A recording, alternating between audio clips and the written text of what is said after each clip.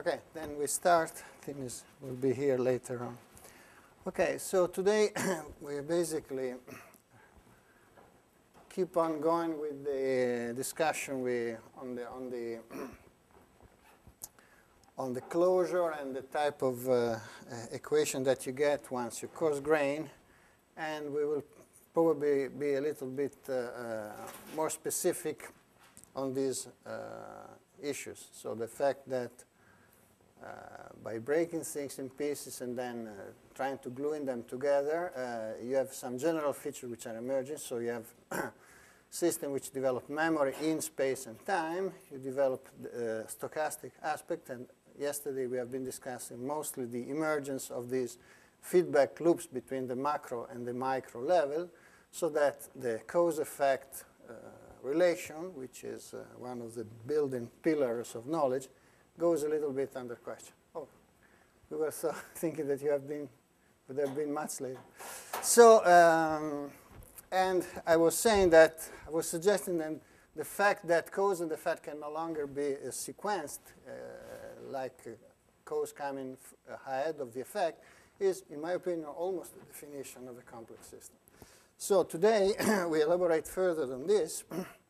And from tomorrow on, we will, we will put some flesh into the bones and see some practical examples or how you solve practical problems. But for today, I will stay still on the, on the mathematical aspect, trying to keep the mathematics at the minimum to convey uh, as general as possible uh, concepts.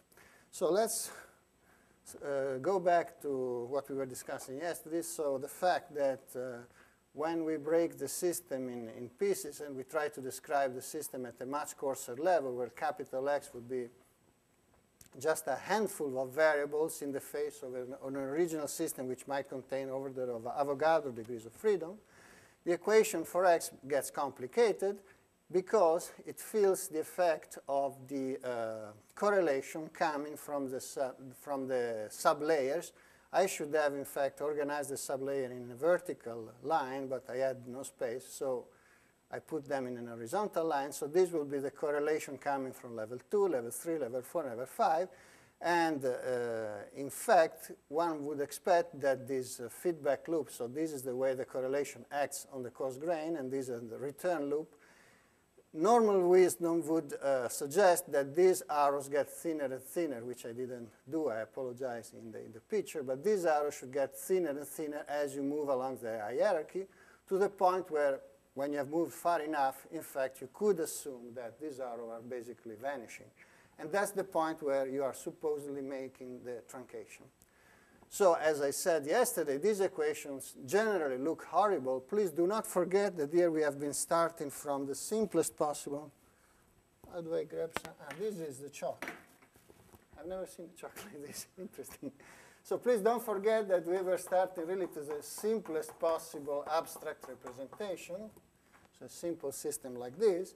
And we end up with a rather awful uh, series of correlation, which we discussed yesterday. So I remind again for the few of, the, of you who have not been here yesterday, that this is the landscape, so the way the force acts upon the correlation, and this is the uh, structural uh, shape of the way the, the statistics of the correlation feeds back into X. Now, you might remember that yesterday we defined, uh, I, we defined this mu p is basically the integral in time of the pth order uh, correlation from t minus h up to t plus h. So h is the uh, window of the filter, and we said that frequencies, modes which in fact last less than h, are just washed out when you do the average. So based on this definition, we would expect that, in fact, these, uh, these uh, kinetic moments would scale more or less like h power p. And uh, so if h is small enough, that is, gives you a solid basis to conclude that as you move along, in fact, these moments should just fade away. But we will see that that's not necessarily the case. That's exceeds the deviation. I'm sorry, yes. So I should, in fact, recap. So remember that we started from this splitting, okay? So capital X is the coarse grain signal, and Xi is the fluctuation on top of it. Okay? And, and mu are the kinetic, kinetic moments. So I think this structure has been discussed yesterday. And yesterday, we, we uh, I, when I asked the question, okay, why do we want to make our life so complicated? That, well, actually complicated. The idea is that by coarse graining, we have many less variables, but the equation we have to solve are much more complicated. So it's not obvious what the trade-off is. But for sure, the point is that you can do closures, as we say. So at some point, you can say, I don't need the moment order 6. I could just set it to 0, do something more intelligent. One way which, for instance, worked uh, rather well in the case of turbulence is something called extended self-similarity. I, I, will not go into any detail, but it's really extremely useful for turbulence, is, is to say that if you have a moment of order p, and p is greater than q, actually, you would express this moment as simply as a power. I mean, this would be exactly the case if this is mu p is a power of h, like this, uh, you see that if I have mu q would be h power q, and mu p would be h power p, so this would be exact. The point is that, as I said yesterday, there are prefactors in front of it, and these prefactors, in fact, contain all the statistics of your system, okay? But you can make guesses on these prefactors, and for instance, let me ask the question, if I have just a Gaussian distribution, which is a normal situation for, for a well-behaved physical systems, all I have to specify is the variance, so the moment order 2, and all the other moments would follow precisely this uh, uh, expression, and of course we would also know what the constants in front of it are, because they are basically p factorial over q factorial, something like that. So just to say that if you happen to know the entire distribution, and we will go in a moment to the statistical picture, if you happen to know the entire distribution of the, of the uh, variable xi, then your problem is solved because you can compute, in principle, all of the moments. Okay? But, I mean, this means that you already know the solution of your problem. Okay? If you don't, and that's the interesting part, if you don't, you could still postulate some expression like this, which would in fact, convey information only is less than uh, the entire information contained in a distribution, but hopefully you capture the relevant physics with the lowest order moments. That's the typical situation, I would say, all across modeling. That generally you try to capture the lowest order moments, hoping that what is left in the higher order moments will be somehow irrelevant in the sense that I'm, I'm uh, depicting in, the, in this picture. So just to say that you have a, a concrete and specific uh, strategy to close this equation, because once you postulate uh, such an expression, then you can try to investigate what happens by changing these constants, and, and, and then you can develop some sensitivity for the response of the problem. So these are called dynamic closures because, of course, the moments in general are function of time themselves, and they might depend on the, on the macroscopic state as well.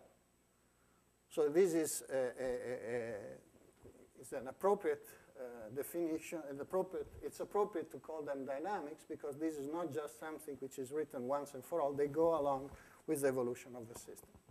So I think this picture more or less conveys the strategy of, of, um, of the closure. Okay, I think I can. So now I want to uh, switch, well, I've already switched to statistics. The, the point of using statistics is because normally use statistics when dynamics gets too hard to solve. That's the general trend. And uh, uh, for those of you, most of you I think have got training in statistical physics, and you know that in statistical physics there are two major avenues. One is the one due to Boltzmann, dynamics and trajectories, and there is a second one which is due to Gibbs, which is statistics geometry, okay? And in the end, they are both fascinating, and uh, I would say, but maybe Tim can, I would say that for equilibrium systems, Gibbs is much more powerful. It's a it has a, a geometric elegance. Um, uh, but as, when it comes to dynamics, to understand not only what the equilibrium state is, but how you get there, then you need to put some dynamic information. That's Boltzmann. But in a way, there are some systems for which the two pictures are basically dual. They're equivalent, and these are called ergodic systems. I'm sure you have heard about this word. Uh, I don't know much about ergodic systems. They get very easily uh, quite uh, complicated from the mathematical point of view. But as far as we are concerned, for us, ergodic simply means that I can replace a time average with a, a statistical average. And I mean, a mathematician would kill me on this line. Okay, but nonetheless, the, the, I try to convey the sense of the, of the ergodic, the, idea of switching from dynamics to statistics when dynamics is just too hard to be uh, solved. Suppose we have an observable which I call A, and A is just a function of the state of our system, the microscopic state, okay? So one way of computing the average, in general, in physics, you are interested in the pressure, in the temperature. So you're not interested in just uh, the trajectories of the atoms, of the, of the individual elements of your system, all the more so because they are far too many, okay?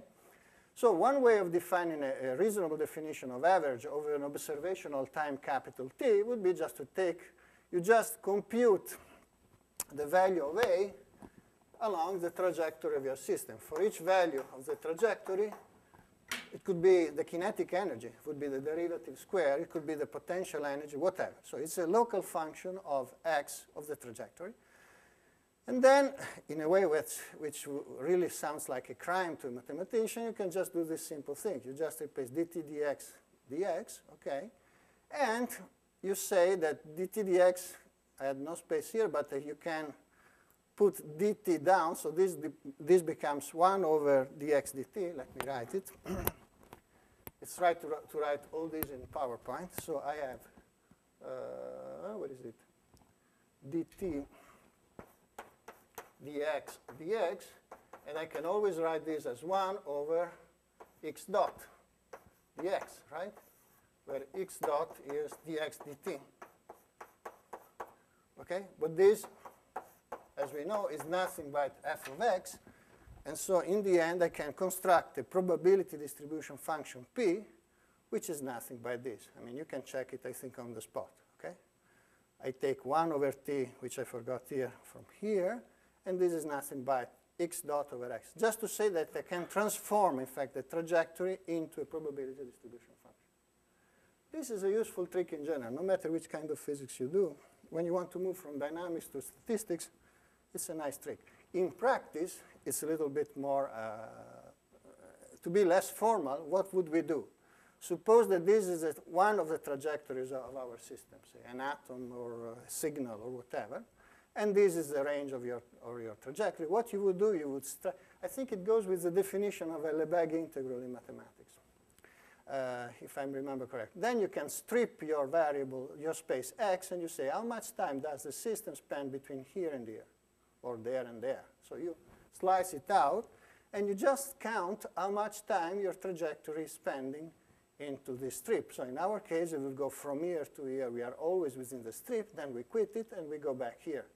And you can just construct the statistics of how much time you have been spending here. And in this case, for instance, if I uh, focus on this strip and this strip, I can generate an histogram. And then I generate a lot of trajectories. And what I end up with is a full distribution, which would be nothing but P of x. I, am sure you, have, you, must have been doing something like that in, in your life, okay?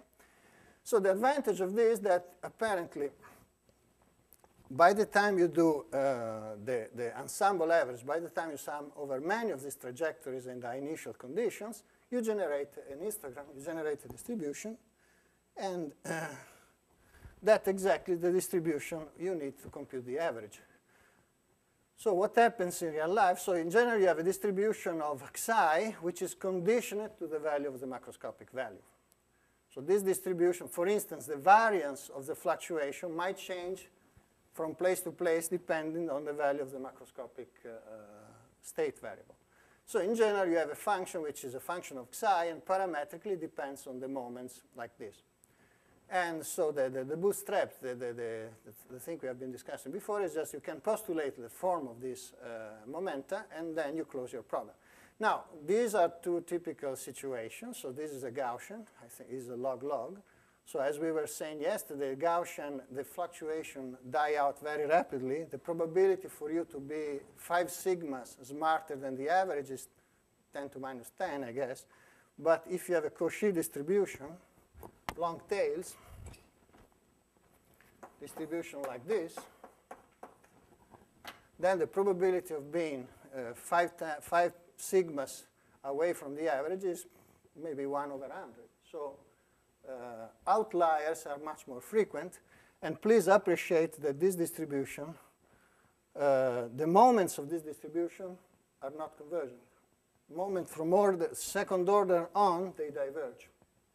Okay, so these are very different situation, and these, the fat tails, these ones, are, are in general associated with the persistence of the details we were discussing yesterday. Uh, and uh, and sometimes this is called extrema, extremal dynamics, so the dynamics of the statistics of extreme events. This would be an extreme event because uh, it's much farther away from the average, and it would uh, contribute a lot to the momentum, even though so the contribution to the, to the integral of these uh, relatively infrequent events is, is still very high, although they are very much apart from the average. Well, this is just a mathematical interlude. I would say that the way, in, in fact, uh, you, you generate the, the force acting on the macroscopic variable, the one you need to know, it's, uh, it's basically an average of a, of, on a random translation. So in other words, if you have the, this is the initial force, f of x, what you have to do in, uh, to compute the coarse grain force is basically to translate by an amount xi, so you go maybe from here to there, or from here to there, because you have a full distribution of xi's, and normally, this the h is the typical size of this distribution, in the sense that the probability of generating a profile which is much further than h is basically zero. And you immediately see that once again, the same story, by doing this uh, kind of uh, averaging, you are basically generating a sort of Doppler broadening of your profile. So generally, the signal which you get, if you start, for instance, for, from a Gaussian here, you will end up with, an, with another Gaussian with a, with a larger uh, variance. So it's a form of smoothing. And again, in practice, this can be useful if you want to regularize divergence series, which is also something which often happens in, in field theory. Uh, but, but that's another story. I mean, just to mention that the idea of generating a coarse grain force is associated, in fact, with the notion of random translation. And you take an average over this distribution of random translation. So typical cases. Is it a typical case? I want some question because otherwise I get, I, I'm sure I'm, get, getting boring to you. So what is this? This is an extreme situation. What does this correspond to? If this, just to make sure that I make myself understood. Suppose now I postulate that the probability distribution is just a delta pointed around zero. What does that mean?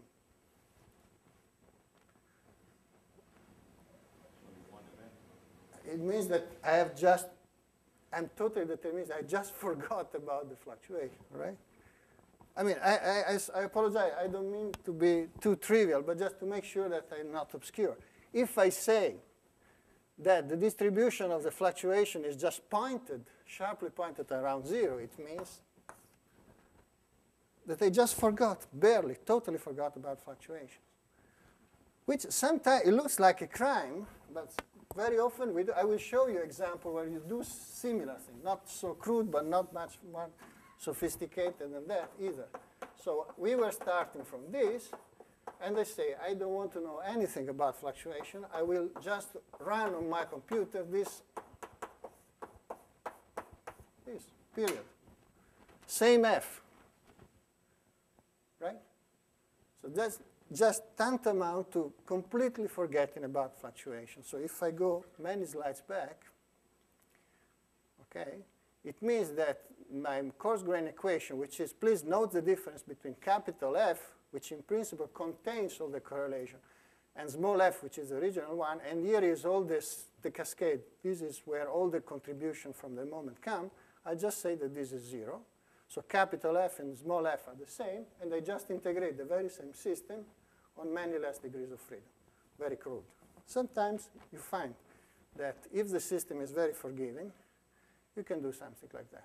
And once again, I drop all this part and just keep, uh, actually in this case, sorry, I would say that all the moments are zero. So this system is totally annihilated. This, the down floor is totally washed out. That's a bit crude, You can do slightly better than this. And that's the typical, this is a large domain of mean field theory, that you basically keep yourself busy only with the Gaussian distribution. Okay? So you're saying that your fluctuations are Gaussian. And frankly speaking, I must admit that in my country, I wouldn't make the name, but a very glorious person uh, wrote in a book that basically all fluctuation of physical systems are Gaussian, which is a very embarrassing statement. Of course, it's not like that. That's the typical domain of uh, what yesterday we called well-behaved physical system. You do not negate that fluctuation are there because otherwise, as I said, you just completely drop fluctuation. You just say that they are Gaussian, and eventually you can make your, uh, the variance of your Gaussian uh, is not necessarily a number, can be a function of the macro state. And that's a typical uh, situation where the fluctuation would not be flat dead. They would basically perform a sort of Brownian motion around the uh, macro state. But I would like to keep it a little bit more colloquial, so I will stop here and ask for, uh, if there is anything which has not been crystal clear, I would like to, to pick it up now. Otherwise, I keep talking and I might. Is everything uh, clear? Okay. If this is the case, so here is no statistics, here is conventional well-behaved statistical behavior, and here we go into the ground of uh, the wild system. So as I said, this is a totally different uh, type of behavior. Here we have fat tails. And as I was saying before, in this case, the, the hierarchy, which I was, I will refer very often to that, to this, we have no guarantee, in fact, that this system of equation will have a finite solution at all times. This, this system may very well blow up. We have absolutely no guarantee that you have a finite solution for all the moment at all times. And if you are in a... What does that mean? Does the physical system also uh, diverge or some kind of divergent behavior, or is it uh, the result of coarse-grain? I, think, no, no, it's basically the, the, system. Take the financial markets, for instance. You know, the, the if you try to model the financial market, I think people did, I would refrain from doing that these days, but I mean, uh, the system is wild enough that there is no chance that by writing down the system equation you would see a finite solution for all the moments. Because uh, no, no, this is not the result of coarse graining. This is the fact that the underlying uh, fluctu the underlying statistics, this is an example, that's a typical example, turbulent mixing. You take a really a very innocent system. You take a two-dimensional flow, okay, and you put a passive scalar, which is this, uh, looks like pepper, right? So this is a turbulent flow. These are vortices rotating one way or the other way. And you put some pepper, and the pepper has no back reaction on the flow. So it's a passive? So that means that uh, the, if I take one of these dot, black dots, it would just move with the fluid, and u is the horizontal velocity of the fluid, and v is the vertical velocity, and so you just track this trajectory. Even if the fluid is not that complicated, even much simpler fluid than this without vortices, if you have some time dependence, it, tap, it might happen that the statistics of this particle gets wild. So they can develop, even the depend only on x? No, no, they depend on time. That's crucial. Sorry, x, y. Sorry, I, for, I forgot. Sorry, yeah. I apologize. Fine. Should be u, x, y, and t. T is crucial. Okay? Because otherwise the flow is frozen and, and there is nothing to say. But even if the, um, the structure of the carrier, the fluid, is simpler than that, I mean, if it's turbulent, no question. Uh, but there is some time dependence. Uh, for many time uh, fluid flows like this, the you take a particle here and you measure the statistics of, uh, uh, you, you, take many particles, you compute the average trajectory, and you compute the fluctuation on top of that. And the fluctuation of this would, in fact, result in a, in a, in a fat tail like this. Now, I'm, I'm not sure now which, which uh, index, but it will not be a Gaussian for sure diverge. Nearby pepper grains will diverge. And then this Lyapunov story, chaos, I really don't want to enter this, deterministic chaos, etc., etc. So just to say, and so if you take the financials, please. Why is the time uh, dependent necessary to get a chaotic behavior. Because even in a static field like that, you would get divergent trajectories for very close starting conditions. Uh, yes, but uh, I think the, um, I'm, I'm, not sure now about the exact connection between the Le Lyapunov exponent, which is the divergence of nearby trajectories, which certainly can happen if the flow is time independent but complicated enough.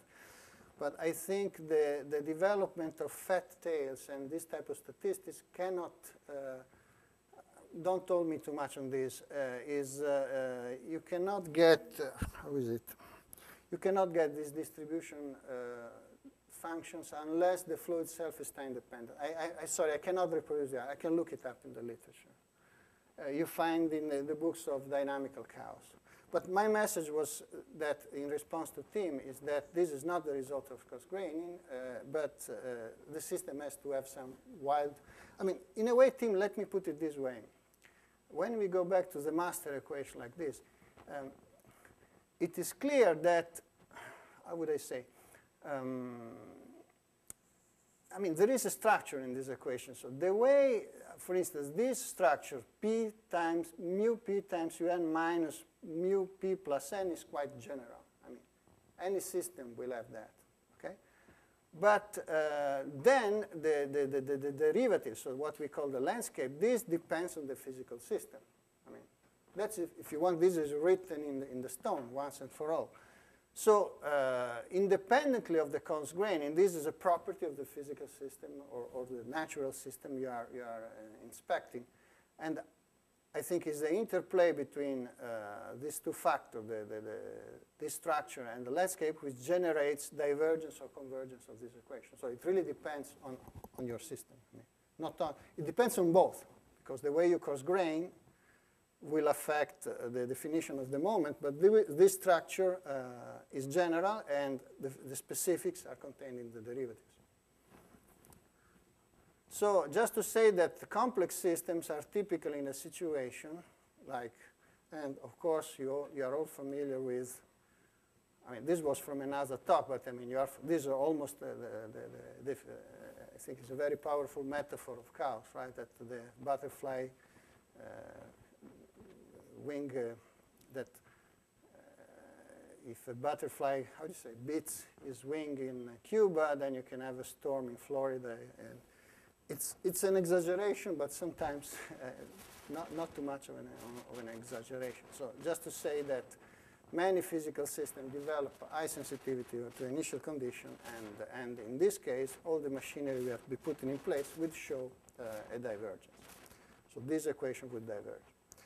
Um, now, um, all I've been saying refers again to this very simple uh, system. And now let's try to, to go a little bit further. And how about we have just something which is, oops, sorry. I'm still uncomfortable with this, also, although it's very practical. So if you have a particle moving in a, in a, in a potential, in a force, so now we become uh, single particle Hamiltonian, then we will have an equation like this. And uh, if you do the little algebra, you see that your structure gets more complicated because at this point your moments become get two indexes because I have the uh, cross correlation between uh, the fluctuation in the position and the fluctuation in the momentum. In principle, you could say that they are independent, but in practice, you have no guarantee. And then you generate an equation for a double series of moments, okay? Which has again a certain structure, but just to, uh, this just conveys the idea that the algebraic structure of this equation for the fluctuation gets more complicated, and uh, all the more so if you go to high-dimensional spaces, and if you go to full many-body Hamiltonian, then you have to take into account also uh, the space separation. So suppose we have, for instance, a box here with molecules, you just coarse grain the, bo the box and you say that you have a capital R coordinate, which will be the, the blue ball here, with a capital R sub i. So capital I would be an index for the whole box, and small i would be the address of the green particle within the capital I box. So we have shifts for each of these boxes, and you can imagine that the hierarchy for this system just gets awful. I mean, you you develop uh, if you have n particle, you have n times n minus 1 over 2 double correlation. These are the shifts, so the position of the single molecule within the coarse grain molecule. And that's exactly what I meant when I said that our analytical mathematics is really pales in front of this type of complexity. Now, is it because this is a sort of irreducible complexity of the real world or just because we have been choosing the wrong language? I really don't know. But the fact is that there is no chance Remember what I said yesterday, uh, that in principle you can construct dynamic equation for the second order correlator and the second order correlator, the Zeno paradox. Whenever I, I ask for a correlation order 2, the correlation order 3 comes into play. And it's an endless hierarchy. But here, here things get awfully more complicated because you have n, and n is a large number of this, uh, this particle. So there is no way, in other words, that you can hope to solve these equations in, in the way that analytical theory would, would suggest. And that's exactly what I meant when I said that our mathematics is ill-suited to this. So and here comes the point to make a cultural switch and go to the title. In fact, I think I, the, the second lecture, should, should, I called it Computational Metadynamics. It's almost metaphysics, but in a serious sense. Uh, so, it, by the way, before I start, any question regarding, I think the only take-home message is that this closure system, which I developed in order to be formally clear, when you confront it with real systems, uh, with many variables, get just gets you get an horrible tangle, tangle of correlation, and there is no way you can hope to solve these equations with the, uh, with the mathematics as we know it.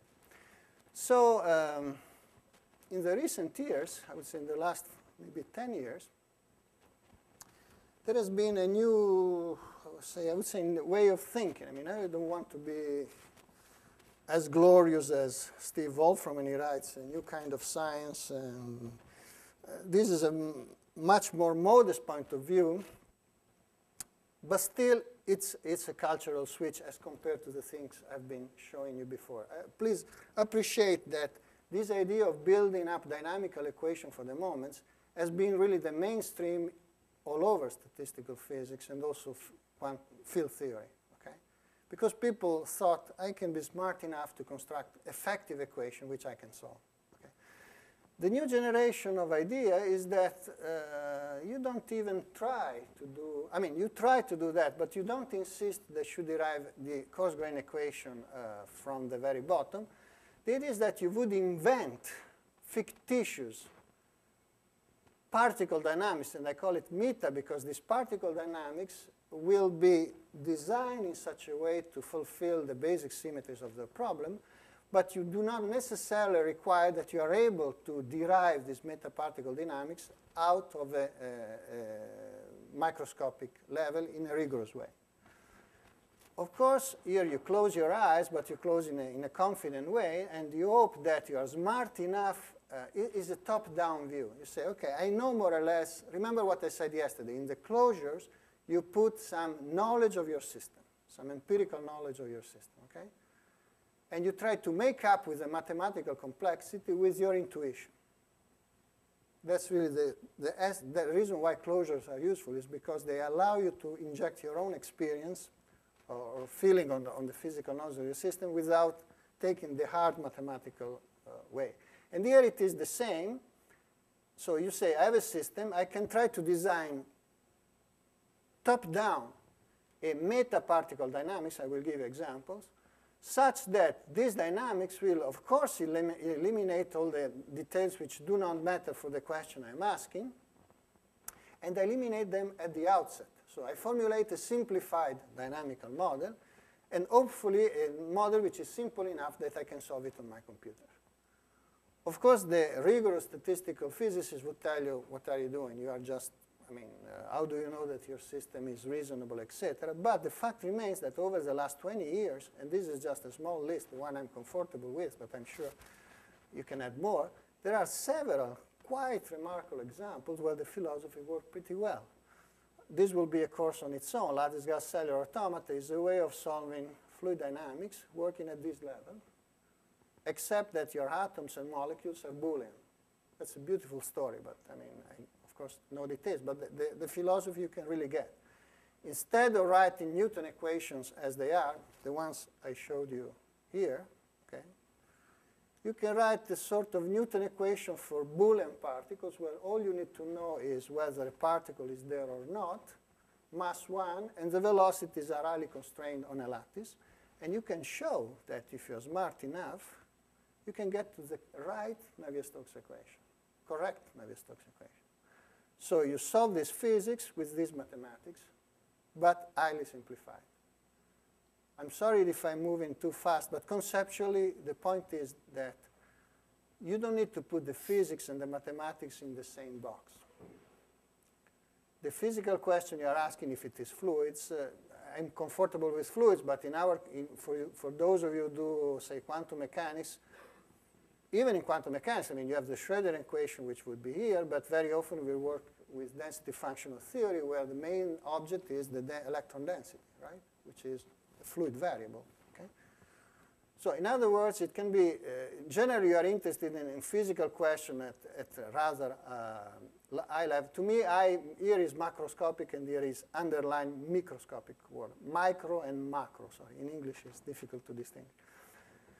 So lattice gas automata for fluid dynamics have been quite useful. lattice Boltzmann is basically an outgrowth of this idea, except that instead of working with uh, Boolean molecules, you work with a, a, very simplified Boltzmann equation, and we are using it all the time here in our, uh, even here in, in our um, practical projects. In, uh, we have been using quite a lot for the last few years. Uh, dissipative particle dynamics is again another technique which instead of using Newtonian equation use a macro particle and it's very useful for polymer melts and for this type of problem. I think we can put even the, the famous Car-Parrinello molecular dynamics into this family because what they do, they generate a sort of fictitious uh, Lagrangian which uh, as far as I know, cannot be derived by, uh, by first principle, but I'm not an expert on that. They postulate it, okay, so that it serves their computational purposes without destroying the relevant physics. So all I'm saying is that there is a whole bunch of methods which have not been derived ab initio from, from the underlying macroscopic world the way the uh, rigorous statistical physicists would do, but they work nonetheless pretty well to solve problems which would probably just be unreachable if you try to, to attack them from using the, the, the, the, mathematical apparatus I've been talking about so far. Of course, I mean, I'm pretty much into this philosophy, but you have, very often you get uh, some allegation that you're just too rough, you, you neglect important things. I think it's perfectly fine as, so, as long as you know that you are constantly in danger of violating some basic nature constraints. And the word for this is realizability. In other words, if you invent a model top down, okay, and for some reason you invent a model which has no path from the microscopic world, so there is no micro to macro, you know that there are many, many, many ways of getting to the same macroscopic system coming from the down world, right? So this is the micro level, level. Actually, since there are many, in fact, the number of these paths is basically the entropy of the states, as you know from elementary uh, thermodynamics. What you're trying to do here is to select somehow the most convenient one from the computational point of view. Is what Tim and I somehow sometimes call the principle of least computing. So they are not necessarily all equivalent from the computational point of view. So you postulate a model here, but if there is no path from here to here, then your model might hit you back.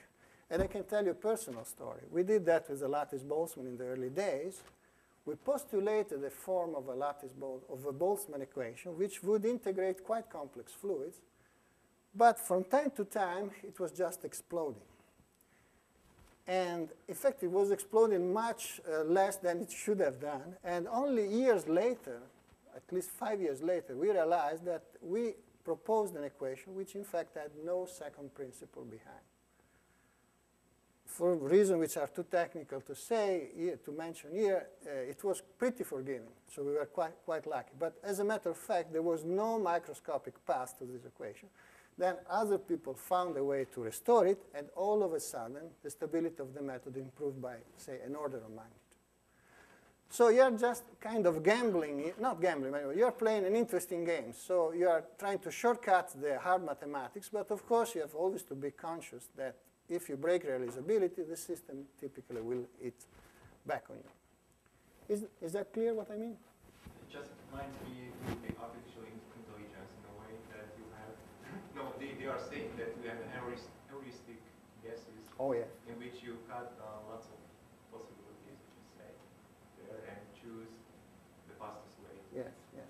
And, But- and, and, and define, and they would say that it works well when it, uh, let's say, it gives you the right solution, say. This Okay. what you don't expect. Okay, so if I, I guess I should repeat to make, uh, the, point is that there seems to be some parallel with artificial intelligence in the sense that use heuristics to choose the right path, okay? My back question is, what kind of criteria do you have to choose the right path? Because in physics, we have two really big avenues, which are the conservation principles. You want to conserve energy according to the first principle, and you want to, end, to have evolutionary constraints, which is the second principle. In general, they not, of course, they, they are not enough to select the best path, but at least they tell you which path definitely uh, you shouldn't take. I don't know what the equivalent criteria for, uh, for artificial in- intelligence are. Uh, but uh, I know that there are some mathematical structures of classifying theories in which, uh, let's say, you have basically usually an exponential number of uh, possible routes. And, and the basic idea is to, I don't know how we choose it today, but they are, they are the known, I don't know how to say, they're the eligible routes. And basically what they're saying that I cut down most of it and I choose only, let's say, the left path. Let's say if we order it in, from right to left, left, I always choose then the left path, let's say. But you must have some physical criteria, I guess. Uh, Otherwise, it's, it's, it's uh, I mean, it's a mathematical structure. It's a Uh, mathematical it- And, and, and uh, as I told you, get it to the theory, uh, it works with this. Okay. And, and you can face the prolog language based on this. Uh, Well, I know nothing about this, but uh, anyway, so it looks like uh, uh, indeed we are, when you deal with complex systems, I mean, uh, the, the, the, the standard mathematical apparatus is just too complicated, so you have to invent alternative rules. And just to be a little bit more specific, uh, oh yeah, but that's basically the thing I already said. It's interesting that, yeah, just to keep on going with this, uh, okay, constitutive relation is, uh, I will talk about them later, is essentially the way engineers, in fact, uh, and quite successfully took the problem. They say if I have a typical constitutive relation is that if I take some material and I put some stress on it, the resulting strain is proportional to the stress, and the, the proportionality constant you don't know, but uh, you, you compute it, and so you say that strain equals some constant times stress. Now, to, to know the value of this constant, you should know all the, the underlying detail of the atomistics, but actually uh, you can measure it, or you, and for many systems, uh, you can characterize it quite, quite uh, accurately without knowing uh, this detail. So in general, uh, that's a typical situation where you would replace ignorance uh, about the macroscopic level with the with the relation between two macroscopic uh, quantities, which you know are highly correlated, and so you measure the correlation um, between them, and this is called constitutive relation. Sometimes constitutive relation might not exist. That's the point. And so the idea of uh, pursuing a bottom-up coarse grain, it might be really chimera, chimera in the sense that it's not the right way of doing it. And, and it's interesting, Walter Kohn, I think you know, is a, a Nobel Prize in chemistry years ago, and uh, inventor, in fact, of density functional theory, in a paper uh, has a similar remark on the n-body Schrödinger equation. It says that the n-body Schrödinger equation contains so much information when the number of molecules is high that is basically a non-computable object, this one, okay? And uh, eventually, uh, so the idea of solving exactly the n-body Schrödinger equation will basically take you nowhere. You have to invent some uh, heuristics or uh, some strategies like this, which I guess, but I'm not an expert, in this case uh, amounted to be the density functional theory and developments thereof. So just to be a little bit more specific, that's, that's an example of, uh, of uh, metadynamics is the lattice Boltzmann. In the lattice, I really don't want to go into detail, but just to be a bit more specific, essentially uh, you have particles which can only move along the links of this lattice. Here is maybe more confusing, but uh, a bit confusing, but essentially you have only nine possible directions. So what distinguishes uh, the situations where uh, uh, you, can have this bottom-up coarse graining uh, from those where uh, it might not be possible? Is there some kind of basic feature that distinguishes those two cases? I think the basic feature is that um, Because in some cases, you can think of ways of doing it. when right? the statistics is Gaussian, you can always do that. So now you would say, uh, what are the systems for which the statistic is, statistics is Gaussian? Well, I think if we, I mean, you know this much better than me. If I take some material, okay, and I strain the material, typically for most material, the, the strain, the resulting strain is proportional to the stress. And this quant the quantity in between, which is the, how do you call it, the viscosity, dynamics viscosity, is just a number. And with a number, you can characterize the response of your system. Okay? But that's a very special case. I mean, those are systems close to uh, equilibrium. Yes. And also Oh, yeah, yeah, pretty close to linear behavior, so. That's right. No, no, you're right. Restrictions. Yeah, yeah, yeah, yeah, absolutely, correct. In fact, now I should have to go back by many slides. I think you're, yeah, you have, you have uh, exactly the point. I think we were being, I think I have one where we tried to, you have to be close to equilibrium. I think I had one slide where I, where I, okay, yeah. Yeah. So I think if the systems are not far too wild in space and they are weak departure from homogeneity, from equilibrium, then the fluctuation always regress. And I think we covered that yet yesterday when, I think even formally, when we write down, sorry, the equation for uh, this we can skip, the, this term here.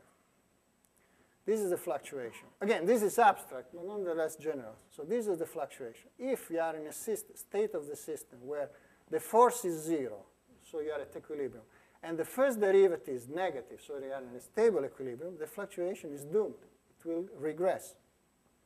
Now, make this psi big. For some reason, you bring it off equilibrium, turbulence, uh, financial markets, I guess.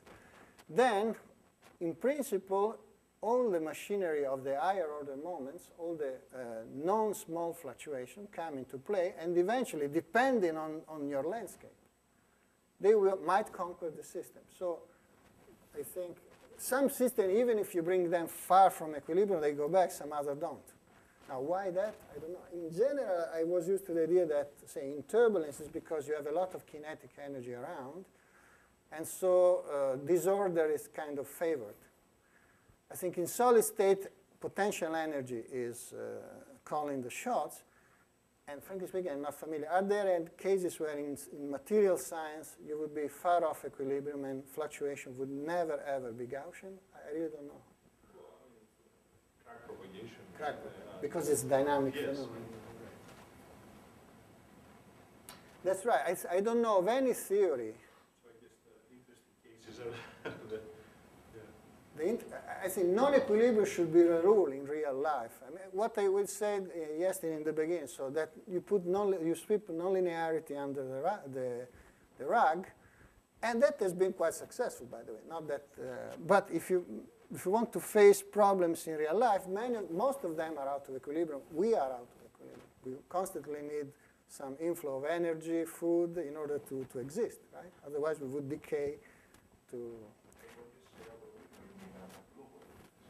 Global thermodynamic equilibrium and still live with local thermodynamic equilibrium, have microscopic currents in that. So in that case, it's not all dead. Um, So local equilibrium is still alive in that sense. local equilibrium is still alive, but local equilibrium is much uh, more versatile than global equilibrium because you can have coexistence of different local equilibria. Ta- take a glass or a turbulent flow. You can have macroscopic domain where particles are in local equilibrium, but if you move to the next domain, they will not in equilibrium, be in equilibrium anymore. So there is coexistence of many local equilibria. Okay, and that's an intermediate uh, situation.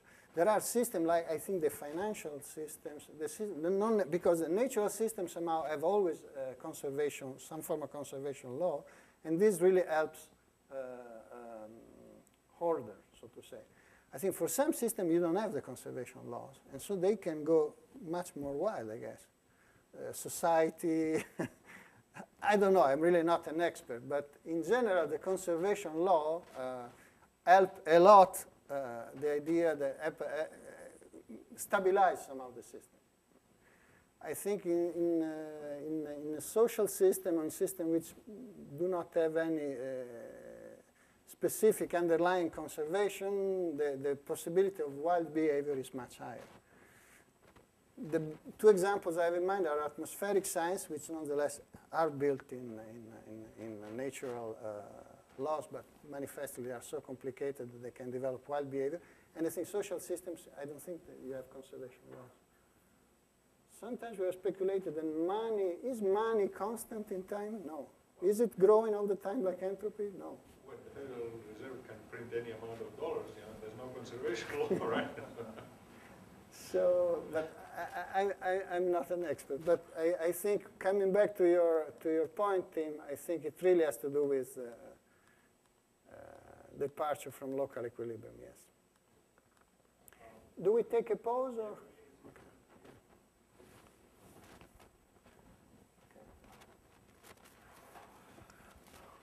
So, and from tomorrow on, I think we will really take a, a twist and I will show some practical, practical example.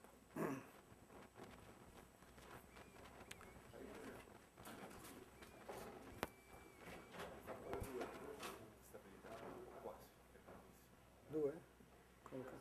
Ma cos'è? L'hai codificato adesso?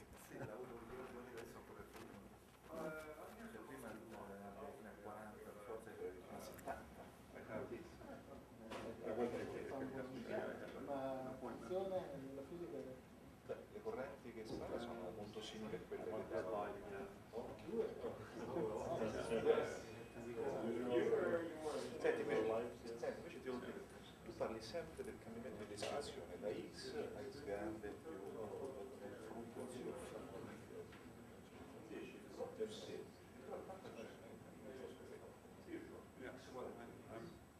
I'm trying to, to grasp the historical context here of, I mean, um, some of these ideas, like the lattice gas, go back to seventies, eighties. Uh, But we're saying here that there's some uh, development in the past decade that has changed the perspective. Well, uh, so I think what happened in the last decade is uh, that we can now, uh, the computational uh, power to, to dare to put together much more uh, complex uh. So uh, we don't have to start with uh, this kind of choice that Sauro was mentioning. So you make an educated choice and then uh, you sort of stick with it. We can really try to mix that with some uh, first principles input. That's really really exciting thing. Supplemental intuition. Again, I- it's not, it's not easy uh, to start completely from scratch and just start it the way you go. Yes. But we can Yeah. of. And mean, you have, Or where, where you start has to be a physically plausible Yes, yes, system, or you're going to get something weird. Right, right, right. But no, like what you were saying, well, lattice Boltzmann, his own experiment, sort of postulated a system, and that it didn't work, and then he people came back and saw that there were some uh, uh, underlying principles which made it more, more stable, something like that. But now, you know, we still make choices about how we model different parts of it. But choices are more educated in the sense that where there's uh, uh, ambiguity, we can supplement with some more basic uh, type of simulation, which I know works. It's just Yes. expensive. It used to be completely out of reach. Yes. So I think that gives us a different perspective. Now can start, you know, slowly making these approaches much more robust. so, uh, uh, intellectually robust. Uh-huh. numerically Yeah, yeah, right, I right, I hope yeah. this, you know, Yeah. I hope this will come out, out also with more detailed examples. Uh-huh. But the other, the other nice thing is that I, I guess you, you might want to catch him and, and and get a, uh, little bit of a discussion of what he covered yesterday, because this really goes back to, you know, Boltzmann and statistical mechanics and, you know, uh, really trying to describe, uh, you know, a system of, uh, with Avogadro's number real particles with single variable. you know. Right. You Right. know, But we do it all the time in experiments, right? We Yes. measure pressure, Yes. measure temperature, Yes. that's how We we use, operate. we use the physical Yes, system to do the averaging for us. Yes, yes, yes. Yeah, so it really goes back to that, the the philosophical underpinnings. Uh, Anyway, I, I I don't know, I, I think this is, I think it's a useful exercise. This is a, yeah, well, it's certainly useful for me to get a it's a tutorial on Yeah. how, it- how it works. And too bad the uh, whole operation is Yeah, yes, stayed yes. a little bit locked. On the other hand, congratulations to you. Well, thank you, yeah, so, yeah, thanks. So, what, You know, you know, I Yes, yes, yes. what are the next articles you're preparing? I'm actually writing about this financially. ah, cool. Ah, I'm I'm writing That's about, good. I'm writing about economics from the point of view of control theory. Yes. the Keynesian idea of can you, can you, manip- can you turn the knobs in this economy in such a way that you smooth out those oscillations? And- Some good. Yeah. Yes, exactly. I heard that Greenspan said that the outputs for this big problems are mathematicians. Ah, Uh, Ah, yes, yes, yes. No, And, yeah, he said, well, was it Greenspan? Some- so- I guess it was, yes, so- some, something about, you know, beware of nerds bearing formulas. Uh, It might be not totally wrong, actually. I think that's true, uh, because uh, a lot of this was sort of uh, put into the system all of the sudden. and- But, you know, it's, it's like the same thing with, uh, you know, the atom bomb, you know, the physicists invented, you know, atomic energy. The way but, you know, use The it. Politician, right, the way use it, those guys should have been responsible, and how you they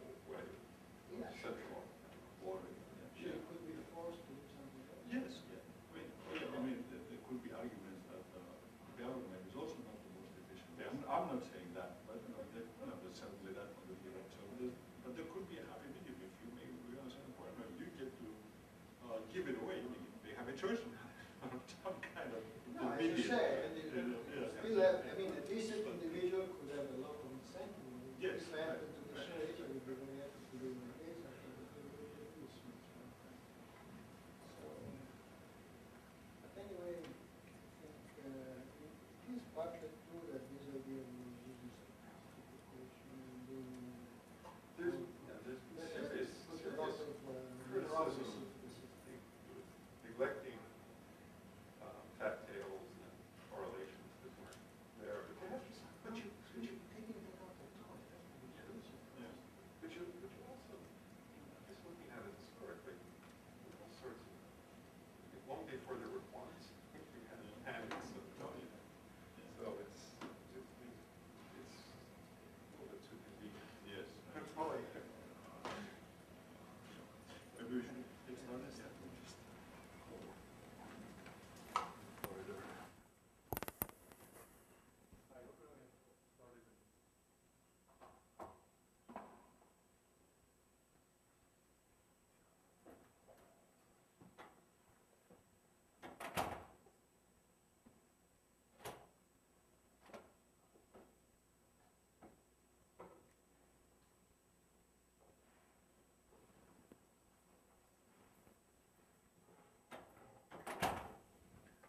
Okay. Let me, so let me go on just by giving some, some concrete examples of some of these uh, metadynamics, although just very much on the scratch, on the, on, on the surface. So in the case of the lattice kinetic theory and lattice Boltzmann, uh, the idea is that you would solve for a fluid. Instead of taking the Navier-Stokes equation, you mimic, in fact, the motion of very uh, stylized particles. Uh, for instance, take uh, a situation like this. In this, so the particles can only move along the links of this lattice, and as you see, out of each link, you have only nine possibilities. Okay, can move uh, east, northeast, etc., etc. Uh, so now take a situation like this at time t, and at time t plus 1, for instance, the blue arrow okay, would move from here to here, and so you find it in the center. And the same for the green arrow, which was here. At time t plus 1, you will find it here, and it will be here. So once you have gathered all the pseudoparticles, okay, because these are not real molecules, these are, this is just the probability, if you want, of finding a particle at that point given with the, one of these nine velocities. Once they sit on the same site, they, of course, have to do something interesting. They have to interact. And the interaction normally results into a redistribution. Some blue goes into green, some green goes into blue. So you mix them up, but here I come to the point. The way you mix them up should be nonetheless respectful of the conservation principles.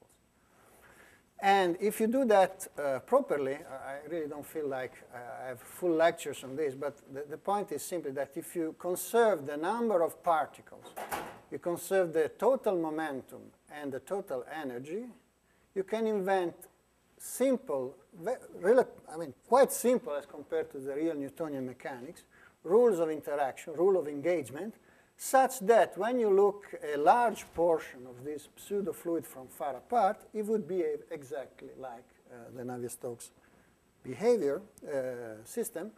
And then you can do, I just took it randomly from the web, but we have a lot of pictures from our own simulation, where this is, for instance, the typical Rayleigh-Benard um, uh, instability. So you would heat up a fluid from below, and as you know, the competition between uh, gravity and heat transfer is such to generate mushrooms. And this structure can get very, co very complicated. And uh, the fact is that instead of solving the Navier-Stokes equation, you get quite, quite high quality results just by playing, uh, by playing this game.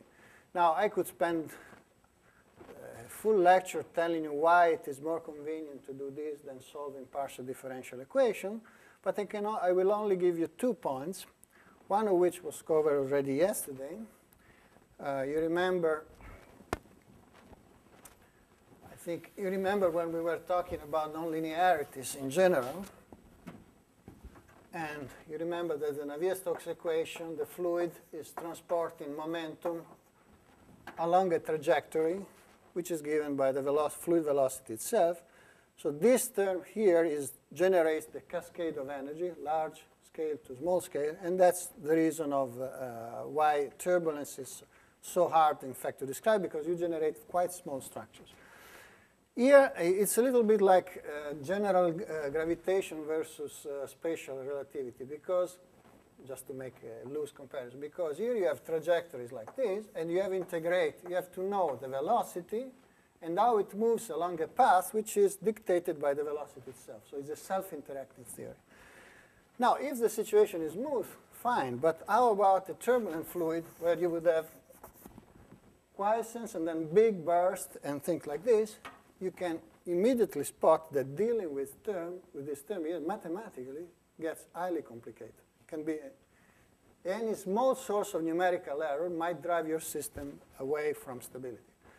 In this simple lattice-Boltzmann story, and lattice gas is the same, the great advantage is you never move the fluid, the variable along a trajectory which is dictated by the variable itself.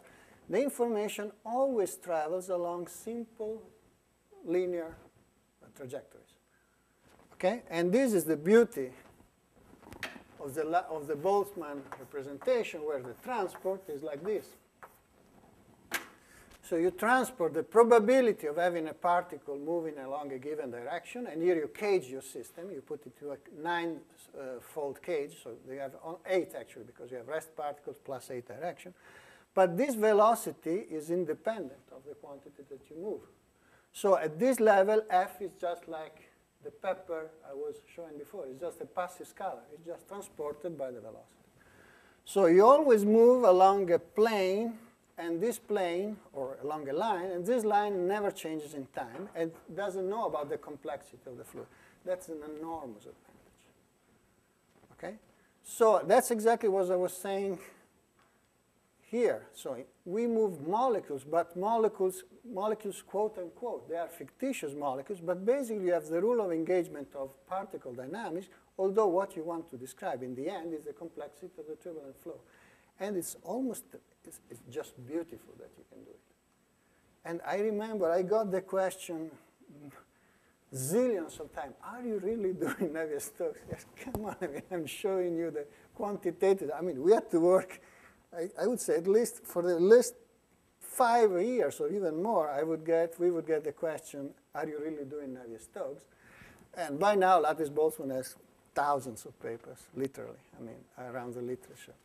So just to say that this is a very uh, nice and, uh, of course, the one I'm most familiar with, uh, example where the, this notion of meta dynamics uh, has been pretty successful. But of course, uh, I'm making a long story very short because I can promise that you do think properly.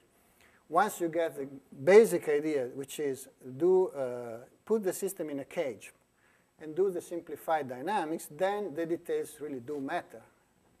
In order to get the correct Navier-Stokes equation, for instance, that's also a very interesting story. I cannot resist tell you a little bit of historical background. This game was started in 76. There was a, a, three people in France, Hardy, Pomeau, de Pazzis, HPP. They wanted to study statistical dynamics of particle system living in a simple uh, square uh, like this. So you only have east, north, uh, west, and south. And if you try to do fluid dynamics on this grid, it's total disaster. You never ever get a vortex. The vortex will be a square you will never ever get the right uh, behavior. So you will invent, you will audibly break the links I was mentioning before. And the, This kind of lattice is not uh, uh, homogeneous, it's not uniform in two dimensions. it's not isotropic. Yes. It's not. But the beauty of nature is that 10 years later, if Pomeau, and I saw, well, I can tell you the story. If Pomeau came to this guy and said, uh, uh, why, guys, why don't you do this? and a new world opens up, an entirely new world. There was a big paper in the new, I think it was in the New Scientist, I mean, by Frisch, Hasslacher, Pomeau, 86, Frisch, Aslak, and Pomeau, and this is Hardy, Pomeau, de Pazzis, which in Italian, Passi means crazy, and there is one invariant here, Pomeau, Pomeau. And I saw Pomeau in a conference in 88. The business was just, uh, the thing was just started. And he had his uh, workbook because Frisch was doing a lot of, uh, I mean, he was pushing and said, this is the way we will crack turbulence. And I think in this country there was a paper, I think in the New Scientist or maybe in the New York Times, I mean, really making big waves. And all the people doing fluid dynamics were kind of somehow worried. So this is the way we will solve fluid dynamics from now on. But as a matter of fact, uh, in a conference in 88, Pomeau uh, had his photocopy of his uh, notebook, and the copy carried this hexagon, and in France it was suggestion to UF.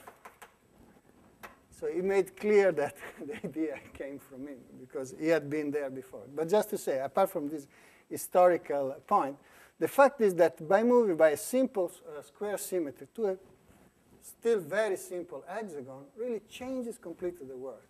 You know, this term, the U grad U,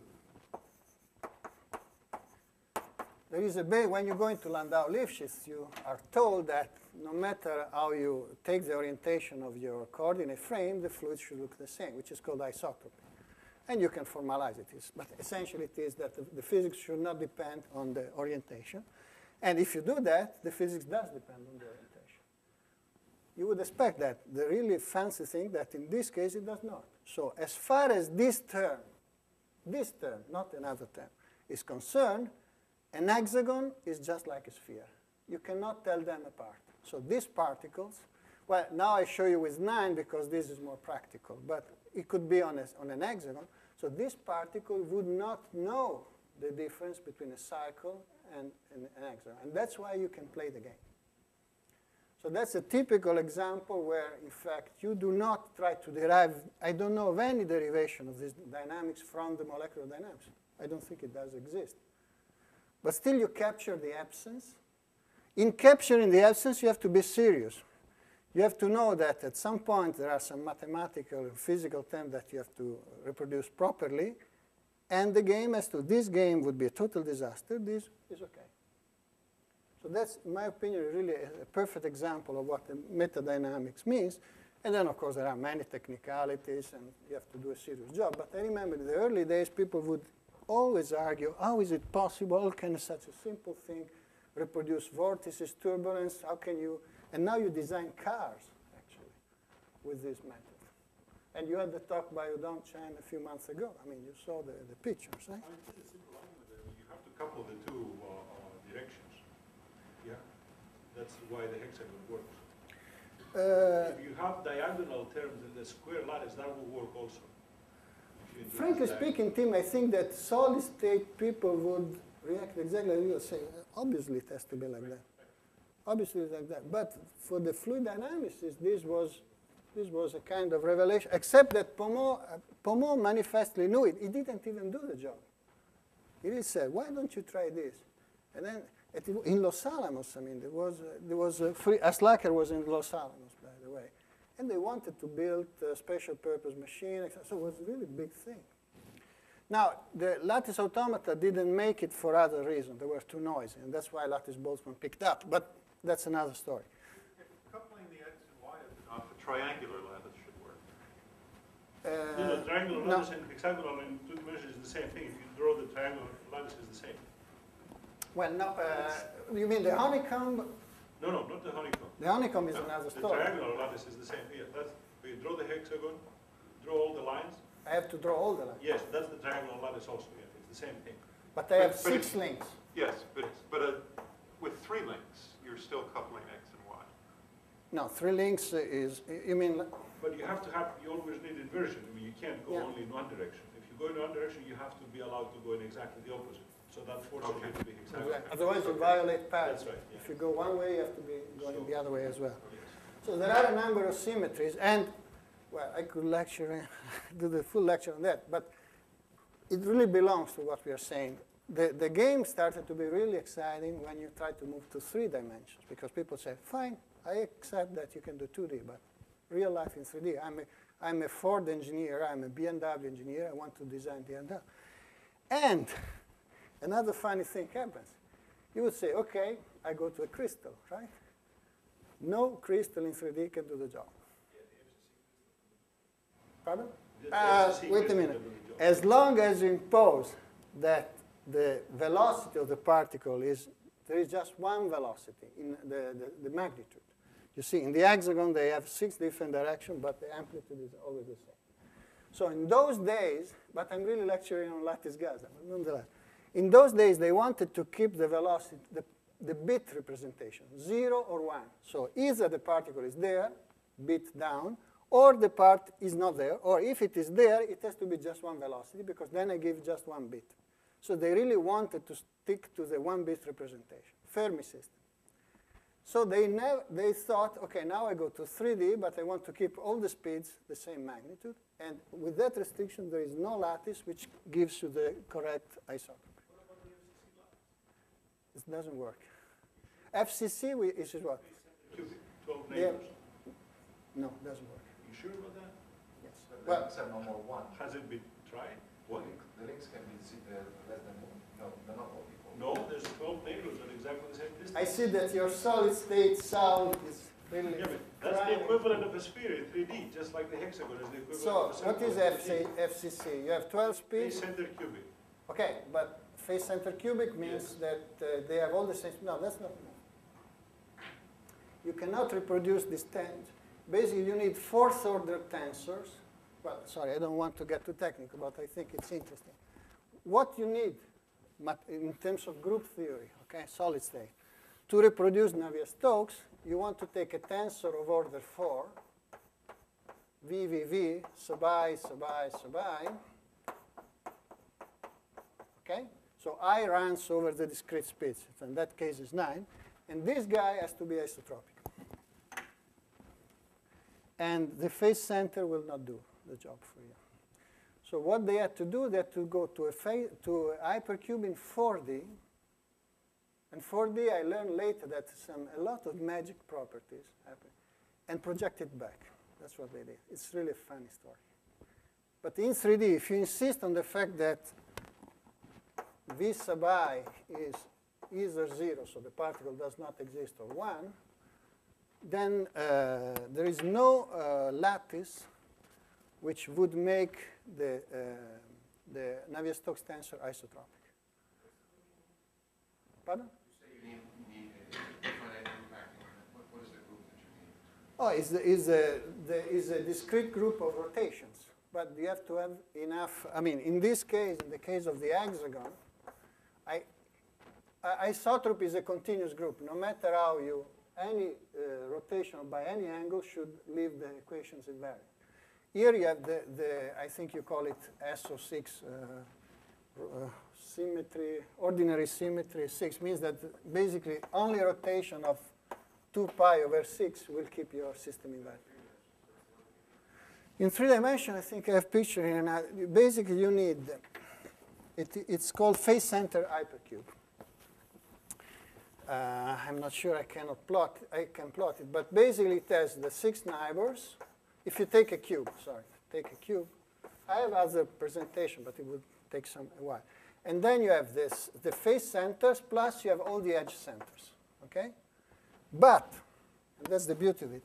Along the four, the six um, uh, direct connection, you have to think in terms of an extra dimension where you would have plus and minus. And that's the face center hypercube in 4D. And if you had this fourth dimension, it works. So what they did, they did they formulate a system with 24 particles. So you have six particles along the, the face centers. You have 12 connecting uh, the edge centers, makes 18, but you double them because you double the nearest connection, so you get 24. And in 4D, they have all the same modulus. I can, I mean, it will take me a few minutes, but if you want tomorrow, I can show you. But just to say that uh, to play this meta-dynamics game, sometimes you have to be very ingenious because there are some serious constraints that you cannot break. I mean, we have been talking about irrelevant details. The real art is to tell what is irre irrelevant and what is relevant. That's the real art in any system. So if you know your system well, you can inject reasonable knowledge. If you don't know the physics, I mean, you can only generate disasters, right? But this is a really very interesting story. If you want to know more, I can include, I mean, I can change the, the, the program of my lecture, no problem. So, but uh, just to say that, um, and the reason why the game didn't really make it into serious CFD was not because of the symmetries, but because of the Boolean nature. I mean, you realize how beautiful this dynamics is. It's exact. You compute, you do fluid dynamics in integer, in Boolean. So all the operations in your computer are exact, no round off. This was, a, this was really a revolution. Unfortunately, you, eh, you are hit back by the fact that since you have only Boolean numbers, you generate signals which are very, very noisy. And by the time you have to average over a sufficiently large region to get a smooth signal, then you lost a lot of advantage. Plus, the other problem is, with the bits, is that if I want to do now a two-fluid, I want to do combustion, I want to do chemistry, the number of collisions I have here is 2 to the power of states. So in this case, I have 2 to the power 24 collision, which is already 16 million. That's why Los Alamos wanted to build a special purpose machine. If I want to do two fluids, I have 2 to the power 48.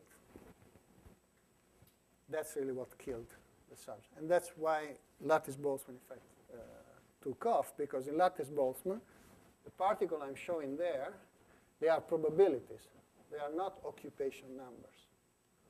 This is like a Fermi system, 0, 1, right? It has Fermi statistics, literally.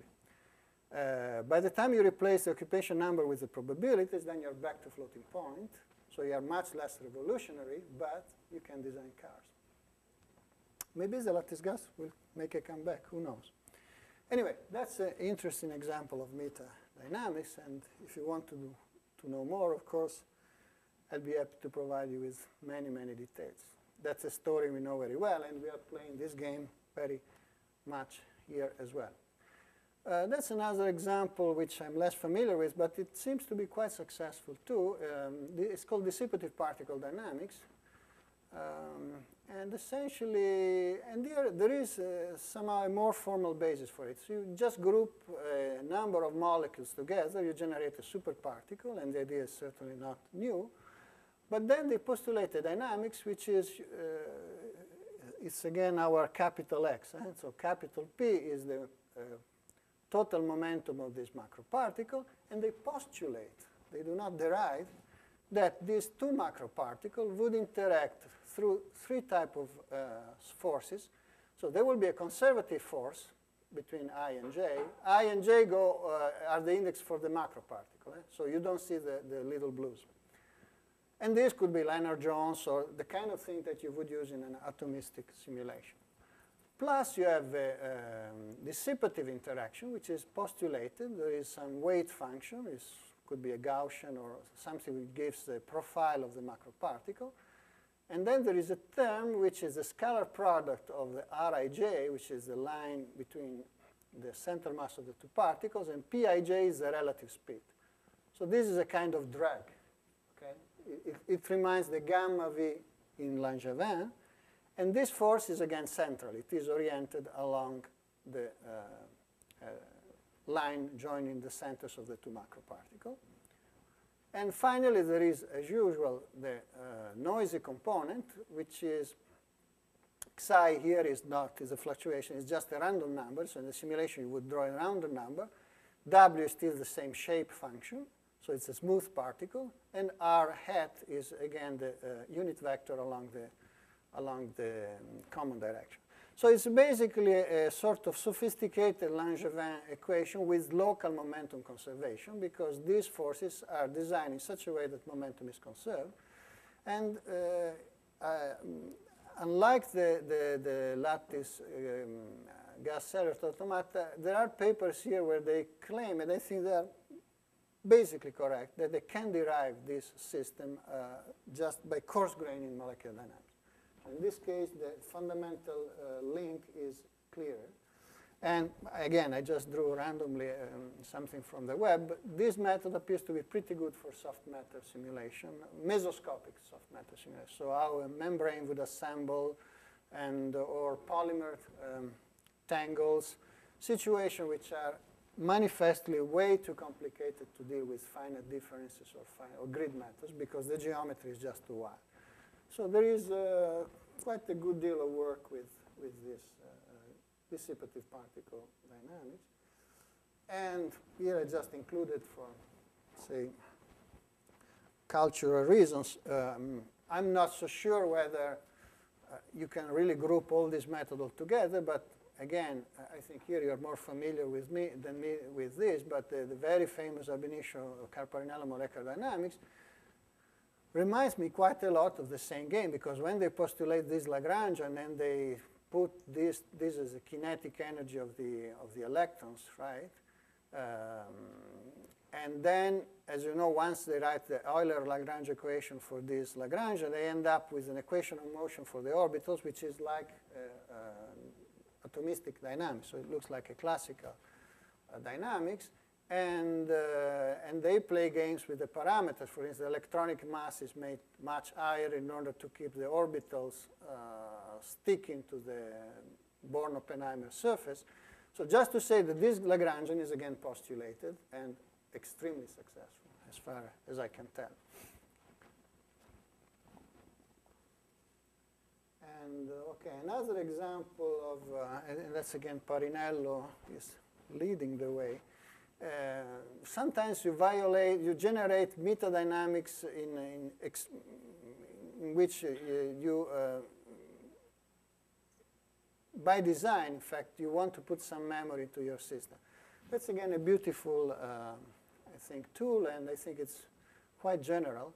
The, the, the, problem here is to explore the landscape of uh, biological structure. Landscape means that you have maybe 50 or 100 uh, variables so the position of the, of the molecules, the angles between uh, the bonds, etc., cetera, et cetera. So you have to find the minima of some function like the free energy in an under-dimensional space. And, and you have to sample this space in, a, in an efficient way. And how do you do that? Well, one way which I find interesting, I'm not an expert in that, but um, I think the, the, the essence is the following. Uh, you take particles, okay, so this is a usual uh, this part here is the usual um, molecular dynamics. Um, there are some interaction between the particles. Sometimes they don't even interact. But the crucial point is that particles leave bridges behind. So if I have a particle like this and I'm exploring this, uh, this valley, whenever I go through a certain point, I leave a, say, a shape function, a Gaussian, so that this would be this particle here. This particle here would move all along and would leave, say, a few Gaussian, so that the particle which comes next would not have to go through the same path again, but it could somehow jump over here. And uh, the analogy is that uh, essentially you don't want to swim into an empty pool, okay? Because if you swim in an empty pool, you never uh, go to the right where you want to go. So by, in fact, so you are depositing essentially Gaussian, so G is this Gaussian, which is deposited to the point where the trajectory is, okay? So essentially Q, if I write correct, when particle I moves, it will, she will find the Gaussian deposited by all the particles which have uh, been uh, coming before. I'm not so sure that this formula is quite correct from the formal point of view, but the idea is there. So there is a you build a notion of history, and by doing that, it's just like filling up the sea so that you can get to the right minimum much, much faster than by mere molecular. Molecular dynamics would, would take you forever. So, sorry, in this case, is something quite different from the previous. Oh, yes, yes. Previously, you say you have uh, an arbitrary, an artificial microscopic dynamics, but the target microscopic dynamics is my source. It's my target. I, I achieve it, and that's it. That's Here, it. you lose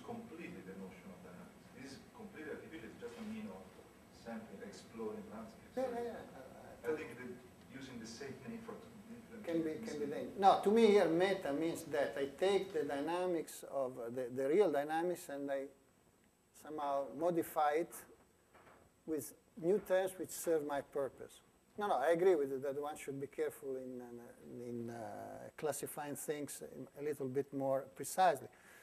But nonetheless, you could think of exploring a, a underdimensional landscape doing uh, particle dynamics, the Newton dynamics, okay? And the point is that you don't want to do that because if you do ordinary uh, Newtonian dynamics, it will take centuries, okay?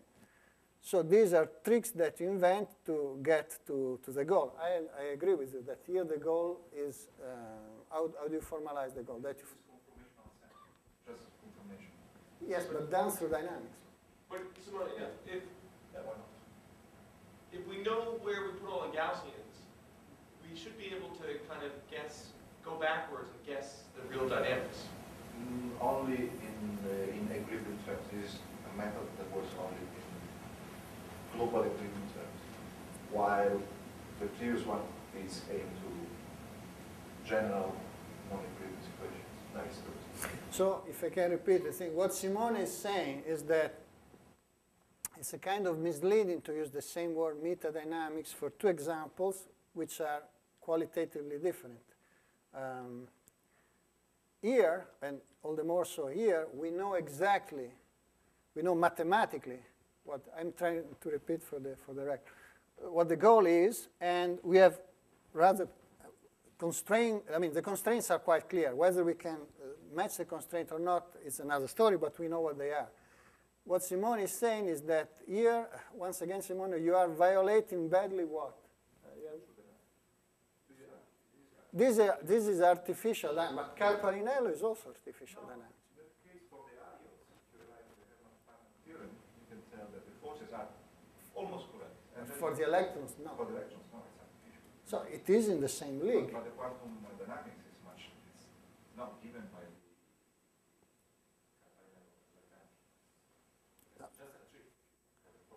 That's what I'm saying. So, uh, okay, maybe the classification could be tricks which have a solid and well-defined target, and tricks which just serve a practical purpose. But, I mean, they do belong to the same family, in my opinion. It's maybe too broad. Okay. Anyway, here I think I'm not an expert of this. To me, it's not obvious at all. How uh, would I know because if I can play this Gaussian game, I could take the particle off the real minimum as well. So I don't know how they deal with this problem. So I think this procedure is by no means uh, systematic, as far as I understand. But I just wanted to give an example of a situation where, in fact, uh, um, uh, you, you modify, you kind of accelerate, you don't play the dynamics that nature is playing just because you cannot afford it. I mean, so you have to invent tricks because exactly, we have, to, we have to live with the principle of least computing. Nature doesn't have this constraint. So that, is, uh, that was my point. So I think I'm basically at the end of the philosophical part, and tomorrow, how much time do I have for today, Tim? Just 15 minutes, yeah. So I don't, I'm not sure it's worthwhile to, mm, to start anything new, but, and from to, tomorrow and the day later, I will show you some practical example, so it, it will be really a change in the, in the style. But just to summarize a few things which I hope you can retain no matter uh, what your um, application field is. So let's see, probably this list is incomplete, but uh, of course uh, this is something obvious. Of course, graining entail certainly information loss. Well, in the first place, we said that we need multi-scale whenever a cross-case correlation uh, cannot be passed out, and I hope I gave you at least a flavor for the mm, general um, uh, feature of physical system where this happen. So the retrieving the lost information is an art in the sense that doing it the hard way might be just unrealistically complex. And one thing which I forgot to mention, and it is also important, that it is an art not only because you have to invent fictitious dynamics, but also because even the splitting, which in my case, I just gave you the trajectory, is almost obvious. I say, okay, I do some filtering, I smooth out the signal, and what is left out is the fluctuation. But when you go to the heuristic system, this divide is by no means obvious. So it is not obvious how to choose the so-called collective variables and the fast variables. So this fast-slow borderline uh, might be a job in itself. Another quite general statement, this I, I, think applies all along, that the game of coarse graining is certainly uh, worthwhile because you generate many fewer equations, but generally they are much more complex. They, they can be much more complex. And the case uh, Navier-Stokes versus Boltzmann or Navier-Stokes versus Lattice-Boltzmann is really uh, a quite telling example in point. Uh, by working at kinetic theory, you don't have this uh, U grad U. You replace U grad U with V grad F, and this is much better object to work with. Although F lives in a six-dimensional space. Configuration space, velocity space. So you have double the dimension. In principle, it's a stupid thing to do, but in practice, the payoff can be uh, quite rewarding. They, uh, in general, uh, the point of uh, generating fewer equations is because you can inject, as we said, your uh, knowledge about the system and do statistical closures. That's the way I would say uh, engineers, that's the typical path that engineering took in trying to, uh, for instance, in turbulence modeling, there, the mainstream, by far the mainstream of turbulence modeling is here. They constantly try to generate coarse grain equation and sometimes they look horribly complicated, sometimes a little bit less, but they are still very much in this mode. Computational chemists, in my opinion, is, oh, it's just my opinion, so not that I would claim uh, that I have the full picture, but it seems to me that this computational metadynamics is really much more in the territory of computational physics and computational chemistry. So instead of uh, trying to coarse grain, you, you try to invent a fictitious dynamics which would serve the purpose you are pursuing. Um, so this is the end of this uh, uh, initial part, which in fact two, took two lectures instead of one, and I'm only pleased of that. So if there is, uh, if there are any question at this point, I would be happy to take them. Otherwise, we could just perhaps start to see what the what the next lecture. In fact, I think it is better if I would skip the next lecture altogether, which would be still in the um, mathematical abstract mood, and tomorrow I will just give you an example. So uh, let me see what, if, if you have questions in between, I will happy to take them. Let me see if I have anything in the lecture I, I planned for today, actually, which uh, I would like to say before skipping to the practical part. So if you have any question, please don't hesitate. So let's see if I have anything in the next lecture for the next 10 minutes.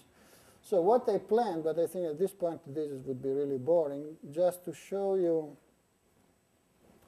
I prepared a sort of uh, bird's eye view of the methods. I made a claim that analytical mathematics is kind of ill-suited to handle the problems we were talking about. But, I mean, that would be a, a miserable statement in, in a sense because there are, of course, a whole array of pretty elegant and powerful techniques although none of them would really uh, be able to take uh, multi-scale problems in, in full generality. And that's why, that's what we have been discussing today. In fact, there has been a sort of cultural change and with this metadynamics and, and other type of techniques. Let me see if I have something here instead of going through these methods, which I want to say. Yes, there is maybe, this is maybe worth, worth saying so these are no way, it would be a waste of time at this point to go through the techniques. Yes, let me, let me tell you what the general philosophy of the thing that we will be seeing tomorrow is, and we will end up with this. And tomorrow I'll show some example of this. So essentially, let me use this. the methods that people are putting in place, including ourselves, essentially uh, are based on the following idea. And I will just use five minutes for that. Um, the idea is the following. So you try to compute the least, do the least amount of computing, least possible amount of computing. So that means that you try to, and we make the assumption that computing at the macro level will be much less expensive than computing at the micro level. Say fluid dynamics versus uh, uh, molecular dynamics or quantum mechanics, even, even more so. So you try to stick, in fact, to the macroscopic description as much as you, as you can, but you uh, acknowledge that every now and then you need to go back to the fundamental level because by staying on the macroscopic trail, you know that you are introducing errors. And I'm not talking the usual numerical errors that you have anyway, I'm talking representation errors. So the philosophical point, so you have uh, a sort of two-trail strategy where you stick to the macroscopic description. Every now and then, and you have to decide when, you move down, so you uh, reconstruct the microscopic state, so you go macro to micro, tac. You do a stitch of microscopic evolution using your favorite method. Might be molecular dynamics, might be tight binding uh, quantum mechanics. You go along this uh, trail for a certain while, and then at some point, as soon as you can, you go back to the least, uh, to the less expensive trail, and so it's just a two-way, uh, two-time procedure. And of course, it's very easy for me to draw this blue box here, but of course, here you immediately see that uh, there are issues related to the boundary condition and how you couple these two different, and that's really a very highly detailed uh, job, and the success of your strategy will ultimately depend on, on what you do in this blue box. So. But the philosophy is that uh, uh, at either levels, both macro and micro, you could in principle use the metadynamic model you uh, choose, provided you, may, you, you, you are confident that uh, it, would reproduce, it will reproduce the physics you're, you're trying to explore. So the strategy we will see is essentially advance the macro solver for a time capital delta t, okay, you move down with the so-called reconstruction because you have to reconstruct the microscopic uh, space. So this is a, you don't move time. This I indicate with an arrow, but the arrow should be in fact vert vertical because time is frozen. You advance the microscopic solver to a certain amount of time, small delta t, so from here to there. And then, of course, you have to project. Remember, yesterday we did projection and reconstruction operators. So you reproject back to the macro uh, state, and you go. So the idea is that this microscopic solver should, in fact, yield, that's the H-E-A-L, the errors, representation errors, which have been uh, uh, generated working on the macroscopic level. And if the system is reasonably well behaved, uh, this, the error generated here will decay very fast as soon as you uh, run uh, the, the microscopic solver for a little stretch of microscopic evolution should be enough to bring the system back to where it, be belongs. So that's a very different uh, philosophy as compared to coarse-graining. And, uh, well, here there would be a full lecture and try to show what, uh, uh, what the constraints and what the, the, the, the payoffs for this procedure are. But let me, I will just confine to to one thing. The potential gains in doing this strategy, sorry, what is it? I want. I just wanted to to give you. I lost. I was. I had the uh, slide before where I was showing the payoff, and I lost it. Where is it? Ah, here it is, maybe. Yeah, this is, okay. Just to give you an idea of, of the potential gains in, in playing this game. Very, very roughly speaking. Just let me use, yeah, five minutes enough. Very, very roughly speaking. Suppose I have, again, this is the simplest possible example. Suppose I have a molecular dynamic system, and, and delta x will be basically the size of this box, and I decide that all the molecules within, within this box can be represented, say, by a density, by a velocity, and by some pressure. So I replace them with a few, just a handful of macroscopic degrees of freedom, and, uh, and I advance these macroscopic degrees of freedom from time t, from time t to time t plus capital delta t. Okay, so I move in time. Very, very roughly speaking, the gain is that basically I have, I have coarse grain over, the coarse graining factor will be capital delta x, the size of the box, versus small delta x, which is the mean separation, average separation between the molecules, right? So if I have, say, 1,000 molecules into this box, this factor delta x, this factor here will be 1,000. And these molecules, because if I want to advance the molecules according to their uh, molecular dynamics, I will have to use a small delta t, whereas when I march the macro solver, I will jump in uh, steps of capital delta t. So basically what I have to gain is the volume factor, macro volume versus micro volume, and the, the, the time factor, okay? Plus, and this would be again uh, something we have discussed, touching a little bit upon yesterday. I will make the sum, chi is the computational density, which means how much floating point of operation I have to put to advance a, delta, a one degrees of freedom by a time step delta t, microscopic. And macro is the equivalent for the macro uh, solver. So that means how many operations I have to do to move a single macroscopic variable by a one amount delta t.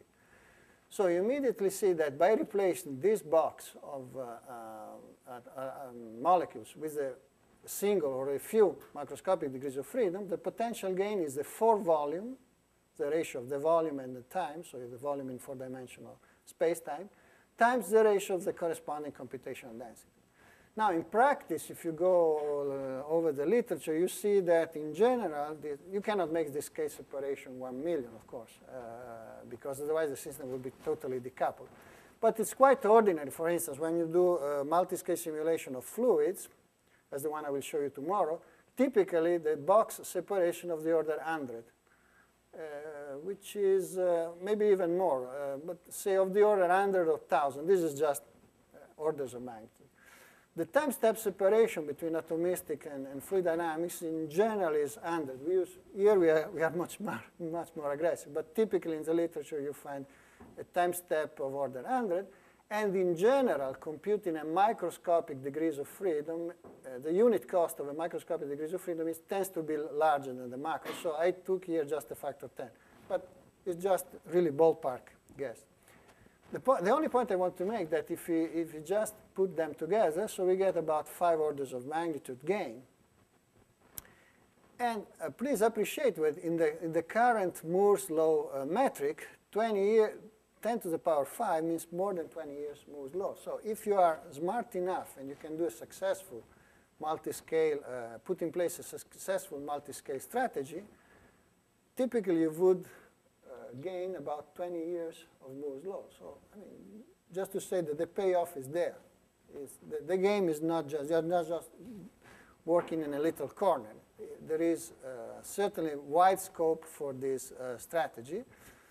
But, of course, uh, any gain comes with its fair share of pain.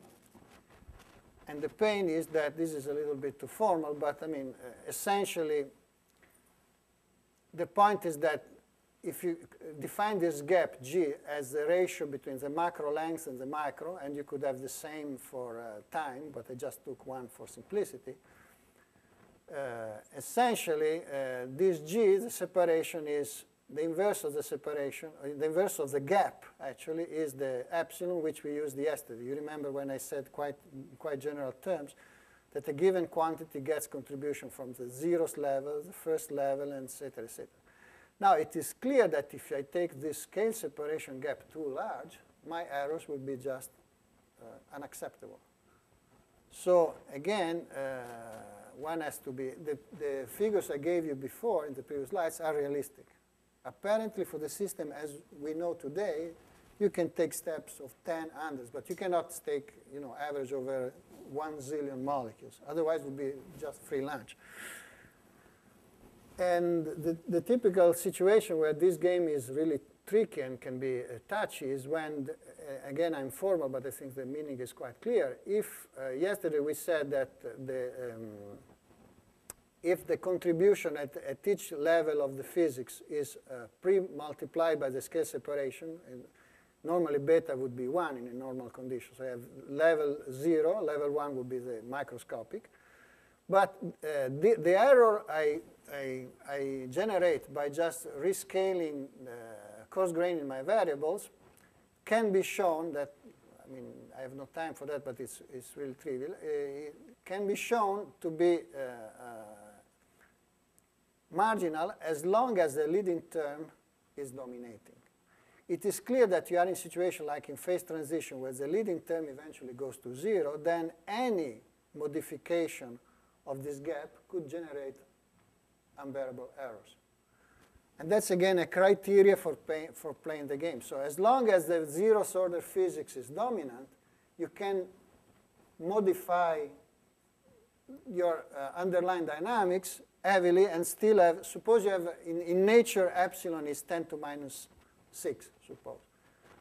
Uh, or I give you a practical example, actually.